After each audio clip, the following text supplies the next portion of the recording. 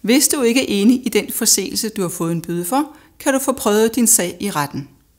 Du bliver indkaldt til et retsmøde, hvor du kan komme med din forklaring og dine synspunkter om sagen. Møder du med en advokat i retten, skal du være opmærksom på, at der vil blive pålagt sagsomkostninger. Hvis du ønsker at få prøvet din sag, skal du udfylde kontaktformularen her på siden.